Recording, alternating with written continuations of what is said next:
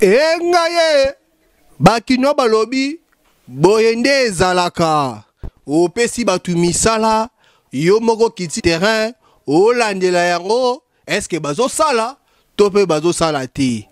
faci beton na vision ya kotonga mboka apesaki bongo bato misala batonga banzela na yango samedi oyo ye moko akitaki alandela misala wana soki ezosalema to mpe ezosalema te abandaki bongo vizite na ye na kaluka atali lolenge kaluka pont ya kaluka esalemi nzela ya kaluka nde etongwami kitoko makasi na nsima kolongwa kaluka akitaki bongo na ngiringiri na aveni makanza botala ndenge bamama bayambaki ye kitoko mpo elengi na nsima na yango akendaki kotala bongo mpo ya bongolo na nsima kovisite bongo mpo ya bongolo akendaki bongo kuna na veni kikwiti atambolaki vraiment kotala misala ndenge ezosalema bakinois balobi mokonzi azalaka nde boye il faut suivi esalemaka mpo bayeba soki mosala ezokende malamu to mpe ezokende ndenge nini na yango bamama bazangaki maloba te elongo na bapapa balobaki bongo na mikro na biso ya bongana media tolanda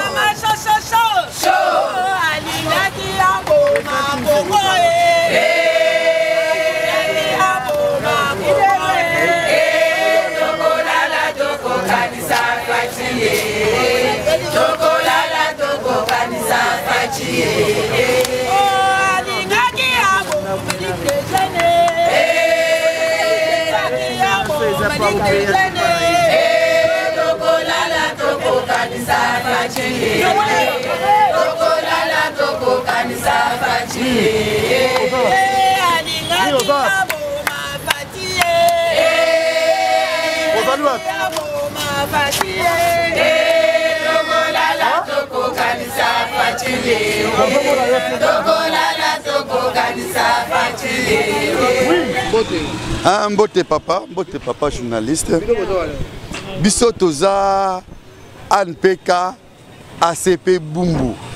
Anne Peka Eli Koloba, Action Ngobila pour le progrès de Kinshasa.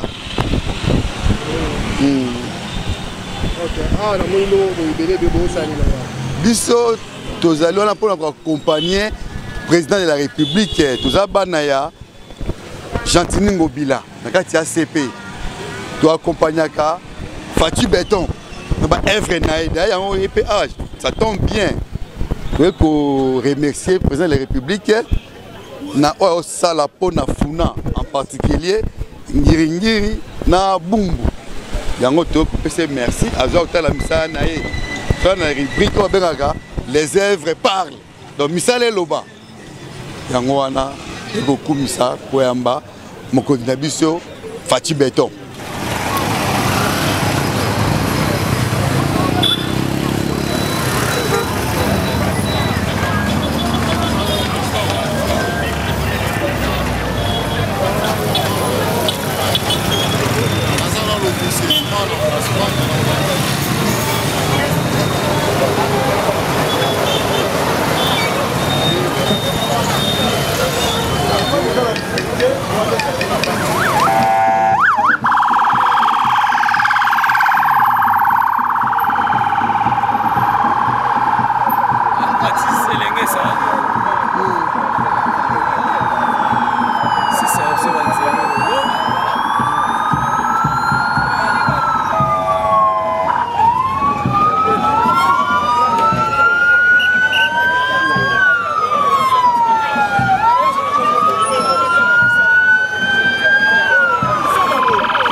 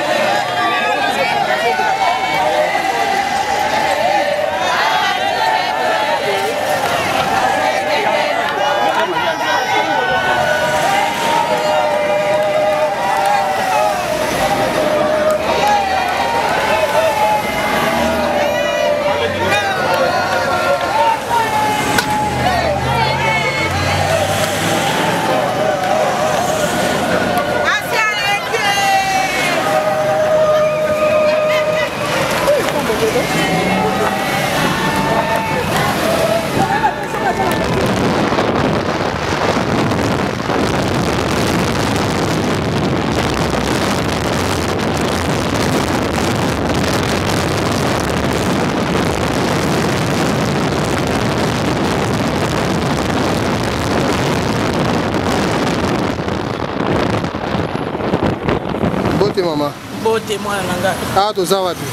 Toza na avenue Makanza. Hmm, na komi na ngirenge na komi na ngirenge lelo fati asali visite na esika atongaki atongeli bino prince okoloba nini mpo nango tosepeli makasi mpenza tosepeli surtout biso bamama veuve totelemaki wana mpo tomonana na ye alekaki amoni biso topesani mpe mbote ya mosika esengo eza monene ya koleka mpo komini na biso ekomo ya propre banzela oyo atongeli biso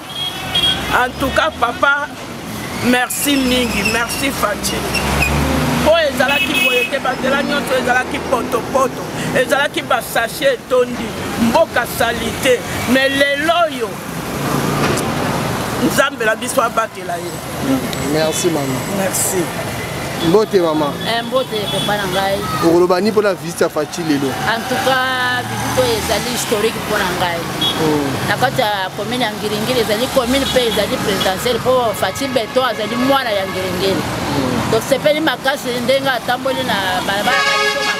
ndenge basimandaki yango ya kitoko tokosenga mpo alemba te mpe atika te tino mpe na babalabala mosusu oyo ya biso ya minene lokola mpe balabala ya njombo eza balabala ya ye moko ifo mpe asalisa biso ezala lokola balabala ya makanza toza na esengo makasi mpo na koya oyo ya ye antuka ezali mwa vraiment ekoti biso na motema toye ebele bamama veve baye mpo bamona ye lei ya lei mais ndenge talaka cortège yango ezali molai mwaye totala bien ezali te mai tekosolo na ye mokolo ya kolinga koyamba biso ya koyamba biso bamama vep tosepeli makasi nzambe ayamba ye apesa ye nzambe asunga ye apesa ye makasi apesa ye mayele mpe bwanya akontinue na kokoba na mosala azosala